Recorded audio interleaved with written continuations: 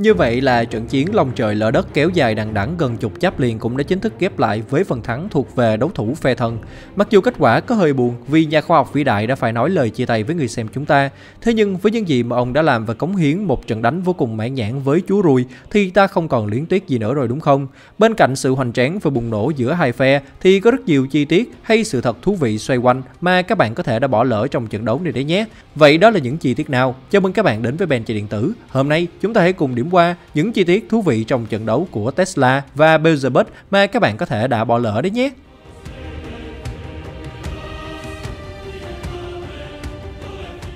Trận đấu giữa phép thuật và khoa học. Cho tới thời điểm hiện tại thì đây có thể coi là một trận chiến thú vị nhất trong 8 trận chiến của tận thế Ragnarok bởi Tesla đã đem đến cho chúng ta một làn gió mới về phương thức chiến đấu vô cùng hiện đại. Trong bối cảnh toàn là thần thánh, những chiến binh đã thời cổ đại xa xưa và những sức mạnh thuần túy từ chính bản thân họ. Thế nên việc dùng khoa học đối đầu với một kẻ có phép thuật như thế này đã khiến cho người xem cảm thấy phấn khích hơn bao giờ hết. Bởi câu hỏi mà từ xa xưa cho tới giờ, kể cả ngoài đời hay trong truyện mà chắc chắn ai cũng đều thắc mắc và mong muốn nó xảy ra. Để tìm câu trả lời rằng liệu phép thuật và khoa học khi đối đầu với nhau, sức mạnh nào sẽ chiến thắng? Và kết quả thì như chúng ta đã biết, thứ thắng cuộc đó chính là phép thuật. Mặc dù có hơi buồn, nhưng chúng ta cũng đành phải công nhận rằng sức mạnh và độ chai lì của chú Rùi quá là ghê gớm trong trận đấu này phải không?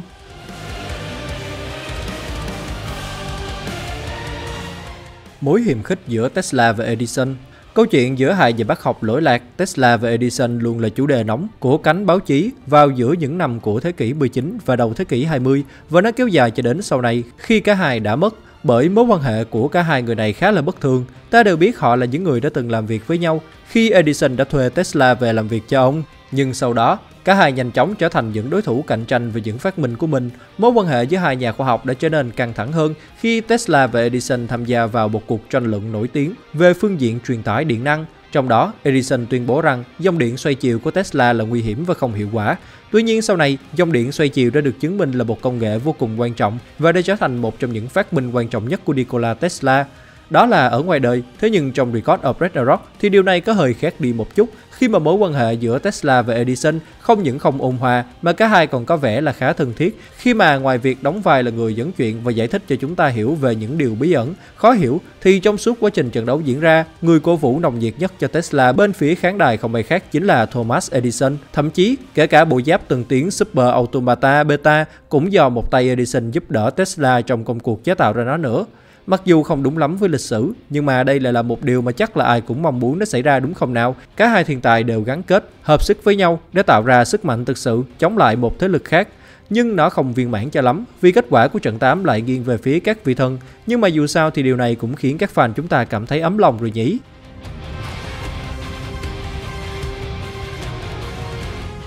Lucifer và Beelzebub cũng giống như mối quan hệ giữa Tesla và Edison, câu chuyện về mối quan hệ của Beelzebub ở phe thần linh cũng không kém drama là mấy. Ta đều biết trong Record of Ragnarok, hiện thân của Satan chính là chú rùi, thế nhưng điều này ở ngoài đời lại khác.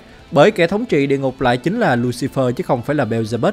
Theo Kitô giáo, Lucifer được miêu tả là một hiền thần quang minh, một trong những thiên thần cao cấp nhất trong dàn thiên thần của Thiên Chúa. Tuy nhiên, Lucifer tự cho mình quá vượt trội và tự cao tự đại, muốn trở thành ngang bằng với Thiên Chúa và chiếm lấy ngôi vị cao nhất trên thiên đàng. Ông không chấp nhận sự thống trị của thiên đàng và đã phản bội ngài, vậy nên đã dẫn dắt một số thiên thần khác theo mình, tạo ra một cuộc nổi dậy chống lại Thiên Chúa. Thế nhưng trong cuộc chiến ấy, Lucifer và các thiên thần đã bị Thiên Chúa đánh bại và bị trục xuất khỏi thiên đàng. Sau đó tất cả bọn họ đã được gọi là các ác quỷ và bị đầy xuống địa ngục, nơi Lucifer được biết đến với cái tên khác là Satan. Trong Record of Ragnarok thì điều này lại ngược lại, bởi Beelzebub mới chính là hiện thân của Satan, Lucifer chỉ là người bạn thân của Chúa Rùi, chứ không có vai trò gì khác, và chả có cuộc nổi dậy chống lại Thiên Chúa nào ở đây cả. Mặc dù vai trò đã bị đảo lộn như vậy, nhưng theo một số bản thể khác trong Kitô giáo có nói rằng Beelzebub còn được coi là một trong những cái tên khác của quỷ Satan. Vậy nên, việc đổi ngôi của hai nhân vật này với nhau cũng không thay đổi mấy gì đúng không?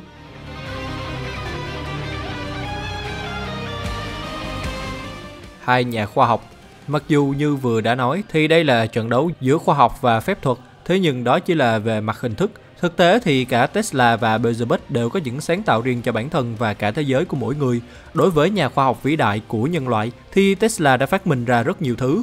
Ngay từ khi còn nhỏ, Tesla đã tạo ra được cối xe gió cho làng của mình, để rồi nó đã trở thành tiền đề cho sự phát triển của ngành điện gió và những ứng dụng công nghiệp khác, giúp ích cho con người rất nhiều. Thêm nữa, Tesla còn là cha đẻ của dòng điện xoay chiều, một phát minh đã làm thay đổi cả thế giới, giúp cho sự phát triển công nghệ của loài người một bước tiến rất lớn. Không chỉ dừng lại ở đó, sau khi chết thì người ta còn thu thập được rất nhiều những nghiên cứu vĩ đại mà nhà khoa học lỗi lạc này để lại, như vũ khí siêu khoa học, vũ khí địa chấn, tia tử thần và một trong những thứ tần tiến nhất đi trước thời đại, đó chính là hệ thống phản trọng lực, bộ giáp Super Automata Beta và khả năng dịch chuyển tức thời. Tuy nhiên, do thời điểm lúc này còn rất hạn chế, như việc không đủ tài nguyên hoặc kinh tế không cho phép, vậy nên những phát minh ấy của Tesla đành phải khép lại. Nhưng mà sau khi được triệu tập tại đấu trường Valhalla thì cuối cùng những sáng tạo của ông cũng đã được chính ông tận dụng.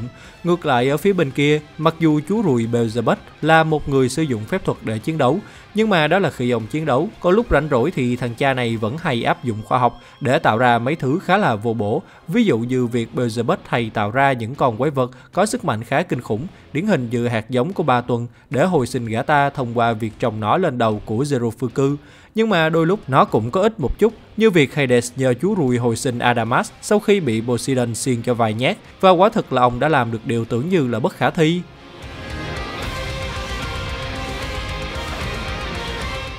Tesla rất thích gọi người khác là non. Đúng vậy, mặc dù là một người có tính cách rất chững chạc, coi trọng người khác, nhưng có một đặc điểm đó chính là ông thích gọi người khác là non. Mình đùa thôi, thực tế thì đây là cầu cửa miệng của ông. Thường thì Tesla thường hay đi kèm những từ như no, nên, nem, nai, tất cả đều có nghĩa là không. Tưởng chừng như nó chỉ là một câu quen mồm của nhà khoa học này, nhưng nó lại có ý nghĩa rất sâu xa đấy nhé. Qua những gì mà ông đã thể hiện với tính cách là một người yêu khoa học và không ngừng tìm tòi những thứ mới mẻ, phát triển bản thân và cống hiến cho xã hội hết sức có thể, thì những từ không này đều ngụ ý rằng với nhà khoa học thì không gì là không thể và con người sẽ vượt qua được giới hạn của bản thân để tìm kiếm ra được những điều mới mẻ trong việc phát triển và ứng dụng những thành tựu khoa học. Hơn nữa, no, nên, nem, nai là những từ cùng nghĩa nhưng có xuất xứ khác nhau. Ví dụ no và nên nghĩa là không của tiếng Anh, nem là không của tiếng Hungary và nai là không của tiếng Đức. Điều thú vị là Hungary và Đức là những quốc gia giáp liền với Áo, quê hương của nhà khoa học vĩ đại này. Điều đó chứng tỏ Tesla cũng rất am hiểu về những ngôn ngữ ở những nước láng giềng, nơi ông sinh sống đấy chứ đúng không?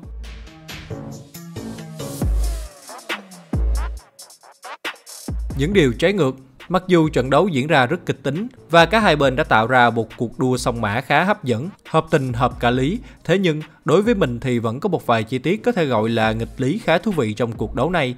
Đầu tiên là khả năng hồi sinh người chết như đã nói, mặc dù là người sử dụng được phép thuật, thế nhưng khi nghiên cứu và phẫu thuật thì chú ruồi không chỉ vận hành những sức mạnh được ban phước đó mà ông còn kết hợp thêm cả khoa học vào nữa. Bằng chứng là việc hồi sinh Adamas theo yêu cầu của Hades sau khi gã này bị Poseidon thọt cho vài nhát.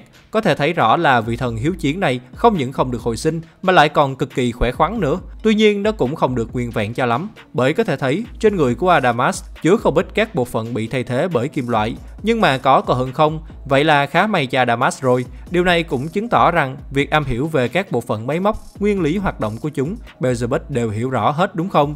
Ngược lại thì với điều mà chú Rùi đã làm trước đó, thì nhà khoa học của nhân loại vẫn chưa tiệm cận được tới mức độ đó. Nếu như mà những công nghệ của Beelzebub được chuyển giao cho loài người thì có thể là nhân loại sẽ rất đỡ đấy chứ đúng không?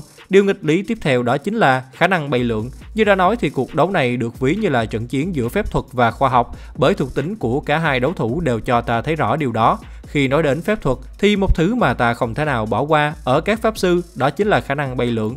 Thế nhưng nét đặc trưng ấy lại không được sử dụng bởi pháp sư duy nhất trong trận đấu thứ 8 này, mà nó lại được dùng bởi người sử dụng khoa học. Khả năng này được thực hiện khi Tesla tạo ra Geomagia Zone và nó giúp cho ông có thể vượt qua mọi định luật vật lý khi ở trong này đạt tốc độ tối đa mà không cần gia tốc, lướt, nhảy, thậm chí là bay.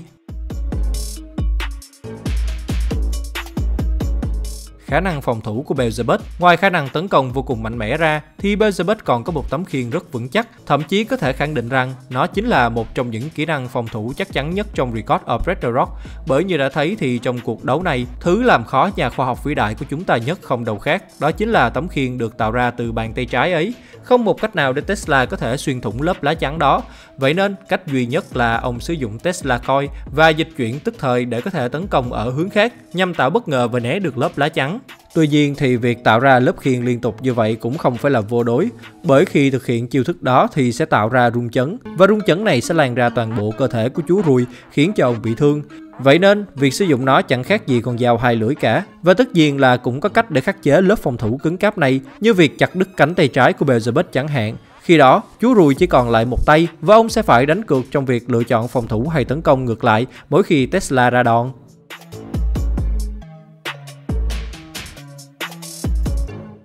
Beelzebub không phải người xấu, Mặc dù tỏ ra là một người có vẻ xấu tính và hay đi phá người khác, nhưng việc ông bỏ hạt giống của ba tuần vào người của Zero Fuku hay luôn tỏ ra một sự hắc ám mỗi khi xuất hiện. Thế nhưng thực tế thì Beelzebub không phải là người xấu, mà đó là vì ông chỉ muốn tự tách mình với xã hội, không dính liễu với ai khác và tạo ra những con quỷ mạnh mẽ để có thể giết chết chính ông. Mọi chuyện xảy ra từ quá khứ đầu thường của mình. Khi mà tình yêu của Elizabeth đạt tới đỉnh điểm đối với bất kỳ ai khác, thì con quỷ trong người ông sẽ thức tỉnh và nó sẽ khiến ông giết hết tất cả mọi người mà ông yêu quý. Vậy nên trong vô thức, Beelzebub đã giết toàn bộ những người bạn thân yêu của mình, kể cả đó là người ông yêu như nữ thần Lilith. Đó chính là lý do vì sao mà Beelzebub lại tỏ ra là một kẻ khó ưa, xấu xa và luôn thích làm những trò quậy phá như vậy. Nghiệt ngã thay, lời nguyền trên người của ông lại không cho Beelzebub tự sát bằng bất cứ giá nào và đó cũng chính là lý do Beelzebub tham gia trận đấu này bởi ông muốn được chết khi chiến đấu để từ bỏ cái số phận bị nguyền rủa bởi chính bản thân ông.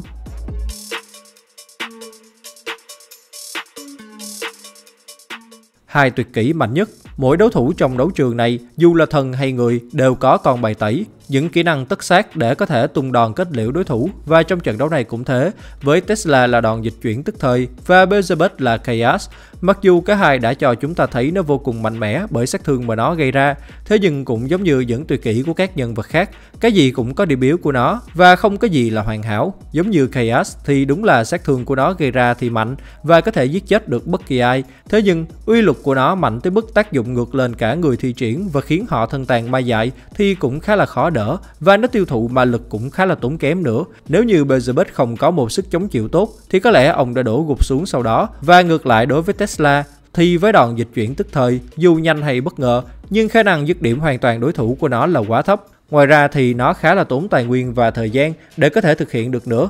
Có thể thấy là ông mất một lõi Tesla Coin để thực hiện chiêu thức này, nhưng trước đó Tesla phải tạo ra một môi trường có đủ nồng độ hạt Tesla mới có thể dịch chuyển. Không những thế, nó mất 63 giây để có thể sạc đầy. Đối với những đối thủ có khả năng chống chịu cao, thì việc dịch chuyển như vậy mà không kết liễu được đối thủ thì sau đó khá là khó khăn đấy chứ đúng không?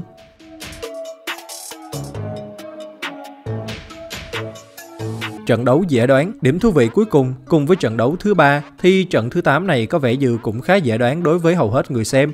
Bởi chúng ta đã thấy thì phe loài người đã chiến thắng hai trận liên tiếp rồi, nên việc để cho loài người lại tiếp tục thắng trận thứ 8 này nó sẽ là khá là khó cho phe thần. Mặc dù là vậy, thế nhưng cảm xúc mà nó mang lại không nhỏ và hầu như tất cả đều đã khiến cho mọi người phấn khích, thậm chí là thích thú trước màn trình diễn vô cùng giằng co của hai nhân vật này.